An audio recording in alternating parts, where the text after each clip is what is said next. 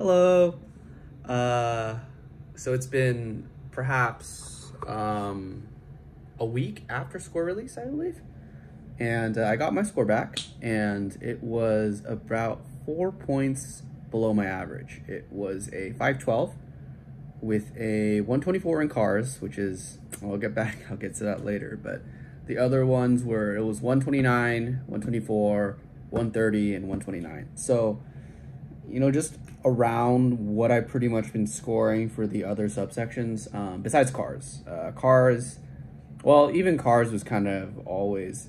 And um, yeah, for cars, I, I mean, I really just, I think I said this before on my previous video, but I RNG'd it. I didn't really finish any of the Q packs or anything, and I just prayed and hoped that it would be okay. Um, but I ended up scoring like I think I use I usually only scored 125. I've only ever scored 124, and that was on my first practice test. So I scored my score on my very first practice test from Altius. So that was um I mean, it took me about a week to kind of get over it because I did score, you know, below below my average pretty much. Uh, well, below my AMC average, but still above my Altius average and my Altius and AMC combined. So it was a little bit of a shock, I have to say. And I, if I have any advice, because I am definitely, I'm not retaking this exam of 512 for me, um, because personally, I want to just do primary care, family medicine. Um, I'm not really gunning, uh, even before the MCAT, I wasn't really gunning for like any kind of competitive surgery or neurosurgery or any of those competitive specialties. So it didn't really matter where I went, so as long as it was a USMD or a USDO. Um, and so with this score, and with my GPA, my GPA for MD schools is about a 3.8. Science um, for DO schools is about a 3.87 because DO schools they calculate their GPAs a little bit differently for science. So with those two combined, and um, with my plan to pretty much have this gap year as a clinical gap year, and then the next gap year being a non-clinical gap year, where hopefully I go work for AmeriCorps and I, um, I do a bunch of non-clinical volunteering, um, and just to get a lot more experience and just see a lot more things in life.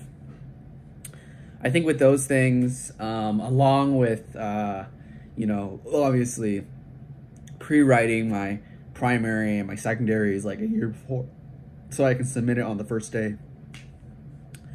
I think with all those things, um, I'm, I mean, I'm definitely be a pretty in pretty a good running for DO schools, and maybe I could snag an MD or two. Um, but I'm honestly, I'm not really expecting to go to a, an MD school at this point. You know, being a California and an overrepresented minority at this point, um, you know, it's like, I mean, I'm, I'm already, I'm just happy that I can still become a family medicine doctor. I can still go to DO school, become a family medicine doctor, and really, you know, kind of, I mean, it's kind of do my dream because my dream actually initially was to become a pediatrician. Um, but then I realized that I don't know if I want to deal with kids all the time. I don't mind kids, but I don't know if I want to deal with them all the time. Um, and then I switched to becoming a family medicine doctor um, because I just really like that longitudinal, you know, connection that I can get with patients. And, you know, from like birth to death, I can see a patient from birth to death. It's just really rewarding for me. So, all in all, I mean, I'm happy. I just hope I don't get screened out for my 124 cars. But looking online, um, it doesn't look like that's going to happen. I might have to explain it during interviews, but it doesn't look like that might happen, except for because I'm not applying to any top 20s, so I probably won't get screened out for that. Um, but yeah, um, I am. It took a week, but all in all, I'm pretty satisfied um, with my score. I'm not retaking. You know, I mean, it's already hard enough to get the 512 score that I got right now.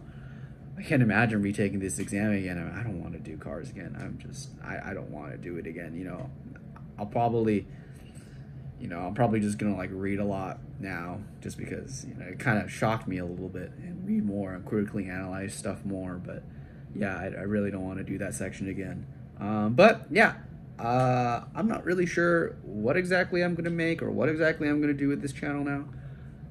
Um, maybe like talking about my scribe journey or yeah, I'm not really sure. Uh, yeah, I don't know. We'll see.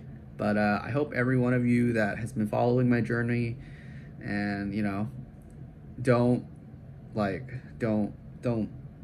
If cars, if you identify that cars is your weakness, you know, don't be like me and just like push it off and just do the stuff you're good at because that's often as humans, you know, we often do that. We only like to look at the good results. And for me, the good results were pretty much chem phys, bio, and psych soc. Um, and I didn't I just kind of had to roll the dice on cars, and it just, just didn't really work out for me then.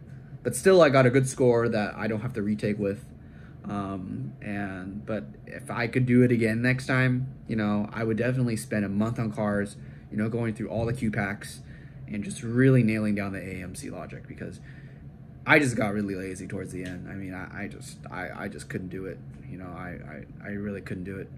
Um, but yeah, uh, so anyone who else who is studying, you know, good luck. Um, don't get complacent, and we'll make it through this.